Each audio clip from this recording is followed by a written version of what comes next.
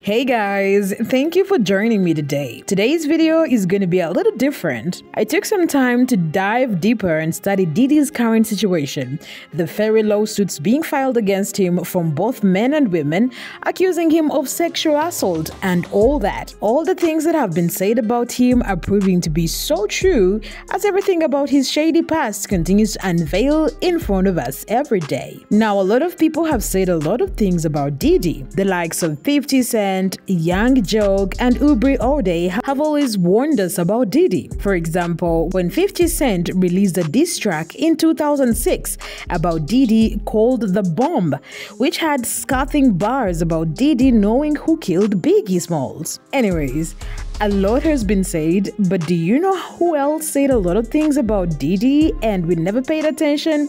That is Kanye West.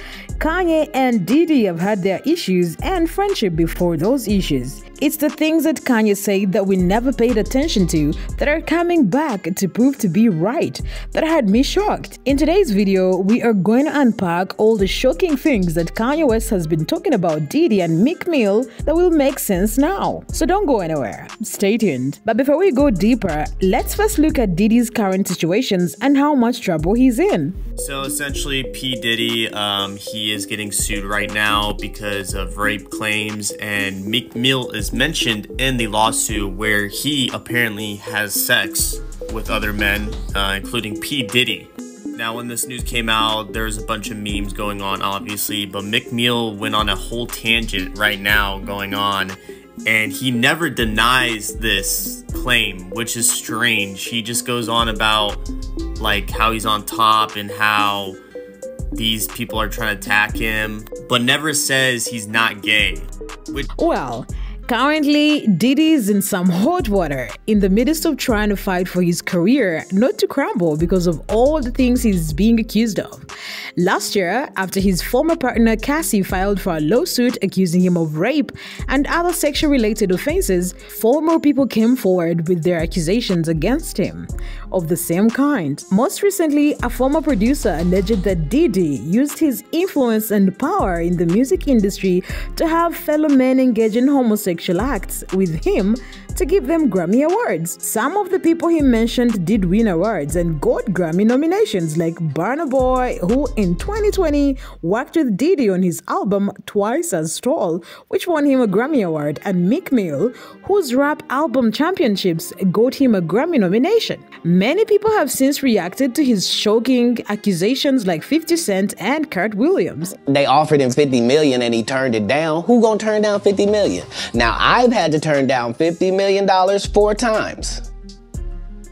Four times. Just to protect my integrity and that verse I was telling you about. right. Because uh, P. Diddy be wanting the party. And you gotta tell him no. You got to tell him no. I, I, now, when it comes to Kanye West and P. Diddy, these two have, worked together in the past, like when Kanye worked on Diddy's album Swish, but their relationship drastically changed in 2022 when Kanye West and Candace Owens were seen wearing controversial White Lives Matter shirts. This prompted Diddy to reach out to Kanye West, wanting to talk to him about him wearing those White Lives Matter shirts, but Kanye wasn't feeling the conversation. So he put all of it out on social media. The thing I do have to address is this White Lives Matter t-shirt. Um, I've always been there and I will always support my brother Kanye as a free thinker. But the White Lives Matter t-shirt, I don't rock with it. The conversation itself was long, but it was basically Kanye West telling him that he will not back down, threatening to make an example out of him to the rest of the people to show that he can never be threatened or influenced. He told him, this ain't a game. I'ma use you as an example to show the Jewish people that told you to call me that no one can threaten me or influence me. I told you this is war. Now go and get you some business. He didn't stop there. Kanye West continued, even calling Diddy a fed and saying, I didn't like our convo. I'm selling those teas.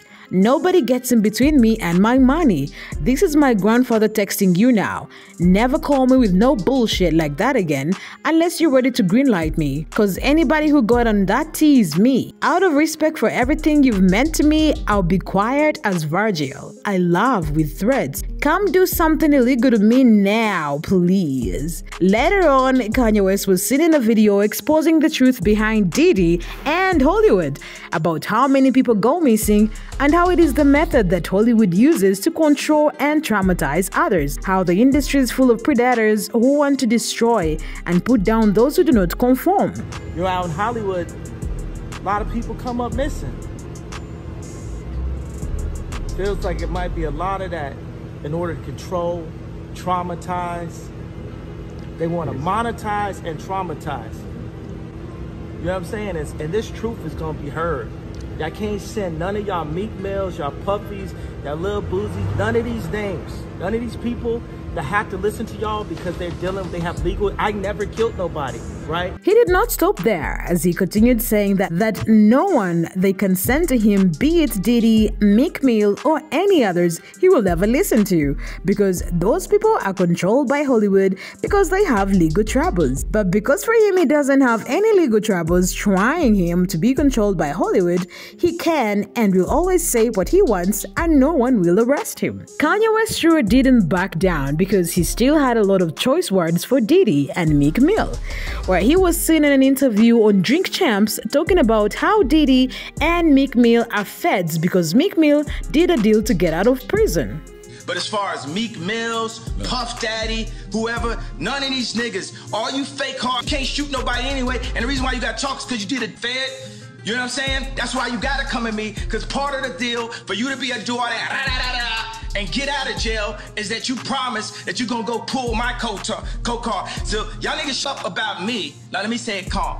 Fans had a lot to say about what Kanye West had to say. One said, This actually makes sense. So much sense now since Cassie sued P. Diddy. The second one said, Kanye West was criticized when this video came out all of the sudden, everything he shared here is the truth or useful information. Another one said, Time just keeps vindicating Kanye. The fourth one said, I'm starting to think Kanye might not be crazy after all. They just want us to think he is because he's going against the grain. While the last one said, Kanye West, Jaguar, and Orlando Brown all painted as crazy all told the truth. I always believed them. They are owed an apology. Well, it seems like Kanye West always knew the truth, and because we were made to believe that he was crazy, we actually never paid attention. And now everything he said is now making sense as Diddy's dirty laundry all gets out by the day. And as I said before, Kanye West wasn't alone. Former bad boy rapper Mark Curry wrote a Sean Diddy Exposed Dancing with the Devil, where he exposed all the dirty things that he does when no one is watching. In the clips posted on his YouTube channel, he talks about all the cruel things Diddy has done, including breaking his ex-girlfriend Porter's nose, hitting a producer with a chair, spiking women's drinks. Mark Curry also joined Diddy's former bodyguards Gene Deal and Roger Bonds as some of the first people to talk about their experience with Diddy after the lawsuits were filed against him. While Diddy managed to escape his first set of lawsuits by paying them off, his fans and people in general are still waiting to see how his recent legal troubles turn out, as several people continue to call for his cancellation because they are against what he did in his past. I also want to hear your views on this Diddy situation and whether or not you think he will get past the current lawsuits facing him. Stay blessed and thank you for watching.